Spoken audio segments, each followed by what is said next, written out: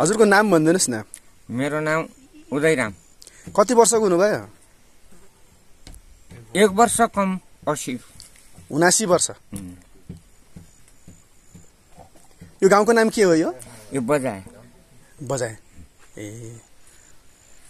पहिला पहिला यहाँबाट कहाँ जानुहुन्थ्यो? हाट हाट जाने ठाउँ कहाँ? जाने राजापुर। बर्दिया। जान्थ्यो कति दिन लाग्थ्यो यहाँबाट त्यहाँ जानको लागि? त्यहाँ छ दिन आउनु जानु अरे छब्बिस दिन सत्ताइस दिनमा आइपुग्दा थियौँ यहाँबाट बाइस दिन तेइस दिन राजापुरबाट आउँछ त्यो बेलाको कुनै त्यस्तो यादहरू छ यात्रा कुनै खास यात्रा? अरू अब के यात्रा त धेरै गर्नुभयो। कुनै यात्रा हुन्छ नि? सँगै साथीहरू छुटेका हराएका आफूले दुःख पाएको खोला तर्दाखेरि वर्ष म हप्तौ कुर्नु परेको तर्दा। मेरै छोरो हरायो हरायो। अब यता त भइकन के नि। मेरो जेठो छोरो हरायो। हेर्नुहोस् जेठो छोरो हरायो हराएको अहिले पन्ध्र बिस वर्ष भइया त्यसको पत्ता लाग्यो नै? त्यो त धेरै पछि कुरा भयो। गाडी घोडा आइसकेपछि भयो। गाडी घोडा। पहिलाको समय क्या हाट जाने बेला गाउँले नै जान्थे नि पहिला त्यति बेला बेला त यता त के रह्यो बस्यौँ त्यही बार्साकै नाउँ भारी बोक्यौँ हिँड्यौँ यताउताको यता त के रह्यो त केही रह्यो साथी सङ्गीहरू छन् कि छैनन् त्यति बेला जानेहरू? साथीसँग छैन। हो धेरै साथी सङ्गीहरू गइसके? गइसके। गइसके अब दुई चार हुनन् धेरै छैनन्। कसरी सम्झिनुहुन्छ त्यो समयलाई पहिलाको समयलाई? पहिलाका समयलाई अब के गर्ने? पहिला यस्तो अड्दा थियौँ घाँस काट्दा थियौँ बाउसो खन्दा थियौँ हलो बल्ल जोत्दा थियौँ। काम गरेर खाने? काम गरेर। मेहनतको? मिहिनेतको। अन्नको माया पनि हुन्थ्यो त्यति बेला अन्नको माया? अन्नकै त माया त। आजभोलि त अब कस्तो लाग्छ?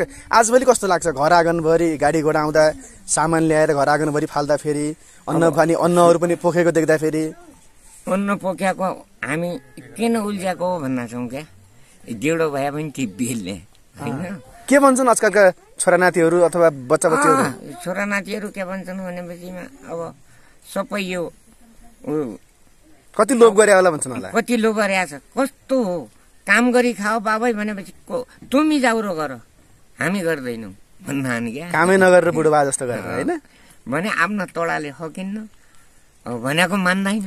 अस्सी वर्ष पुग्नुभयो होइन? तिन चारवटा तन्त्र पन्ध्र फेरिएको सबै देख्नुभयो। कुन चाहिँ तन्त्र राम्रो रहेछ? त्यति बेला पञ्चायतका राणा शासन पनि झेल्नुभयो तपाईँले थाहा पाउनु भएन तर राणा शासन हुनुहुन्थ्यो। अब बुझ्दा त चारवटा तन्त्र फेरियो। हामी त बुझ्दा त अब। भने त मैले पञ्चायतै व्यवस्था राम्रो। राणा शासन हुने बेला जन्मिनु भयो बालापन राणा शासनमै गयो सात सालमा आयो। त्यसपछि पञ्चायतकाल आयो। त्यसपछि जाने बौद्धल आयो त्यसपछि त गणतन्त्रमा आइपुग्नु भयो। कुन चाहिँ तन्त्र राम्रो रहेछ सबैभरिमा? पहिलाकै राम्रो। किन राम्रो पहिलाको? पहिलाको राम्रो कसरी भन्यौँ? हेर्नुहोस् कसैको डर मान्ने कर मान्ने कसैको ओर्ने उहिले पनि बुढा बुढीलाई सुरक्षा पनि गर्ने त्यस्तो त्यस्तो सिक्यो क्या। अहिले त विश्वास पनि गर्ने एकअर्काको। अँ, विश्वास पनि गर्ने। अहिले तपाईँको तपाईँ आउनुभयो तपाईँको मैले विश्वास माने। भन्नुभयो विश्वास माने कि मानेन? अब त्यो भन्नु नै उही भएन भनेपछि अनि के को विश्वास? अहिले आफ्नो गाउँ छ नि। सुर्खेत नेपालगञ्जतिर बर्दिया। सरकारले सुरेश अर्याएको छ। भत्ता दियो। हुन त पाल्याएको छ। सरकारले नपाल्या छ क्या त।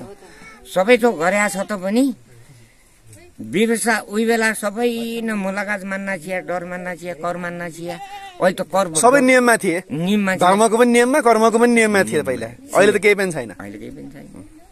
अहिले तपाईँले सोचेपछिमा ए ए बुढालाई मारिदियो नि भएपछि मरिनु पर्यो मतलब पनि छैन थै थै पनि भन्दैनन्। थै थै को भन्छ? कोही भन्छ? भन्दैन त। अहिले पहिला सुर्खेत नेपालगञ्ज रूपडिया उता उता जाँदाखेरि देखिने गाडी घोडाहरू हुन्छ नि। त्यहाँ देख्दाखेरि कहिले हाम्रो पहाडमा जाला जाला कि नजाला भन्नु लाग्थ्यो लाग्थेन पहिला? लाग्दो थियो अहिले अहिले आउँछ कि आउँदैन गाउँघरमा? अँ, अहिले त घरबाटै आयो त। यी घर छ नि कस्तो लाग्छ अहिले कुरा देख्दाखेरि? अहिले राम्रो त राम्रो पैताल हन्नु पर्दैन। विकास देखियो। विकास देखियो। खुसी लाग्छ कि लाग्दैन यस्तो कुरा देख्दाखेरि खुसी लाग्छ किन नलाग्ने यो पनि आफ्नो जुनी जस्तो भए पनि छोरानातिको जस्तो भविष्यहरू। आफूले जसरी भुक्त काट्या पनि पछिका बालबच्चालाई सुविस्ता त भयो त। भयो कि भएन भन्नुहोस्। मनको शान्ति। मनको शान्ति। दुख बिराम परे पनि उपचार हुने भयो। भन्न हामी यस्तै भएर सक्ने त अब यो लट्ठी नभएर हिँड्न सक्दैन। बुढिएपछि ताकत त्यो आँगन पनि परदेश हुन्छ भन्छन् पछि आँगनै पनि पर्देश। यहाँबाट त्यहाँ जानु परदेश भयो कि भएन भयो। टडाले सक्दैन परदेश भयो। हो त्यही हो त्यही पनि अब थोरै दुख बिराम भए पनि उपचार पाउने कुराहरूदेखि लिएर सबै कुराहरू। सबै राम्रै हो क्या। नराम्रो यो पनि होइन। बाँचेपछि देखिँदो रहेछ। बाँचेपछि। अब अलि मर्नुपर्ने हो भने पनि थाकै छैन। अब यहीँ पनि भनौँ मेरो घर त तल हो। यो छोरीको घर हो यो। यो छोरी ज्वाइँ। मेरो घर त तल छ गाउँमा। अँ, भने यस्तै हो। त्यस्तै ल हुन्छ बुवा खुसी लाग्यो तपाईँसँग कुराकानी भयो।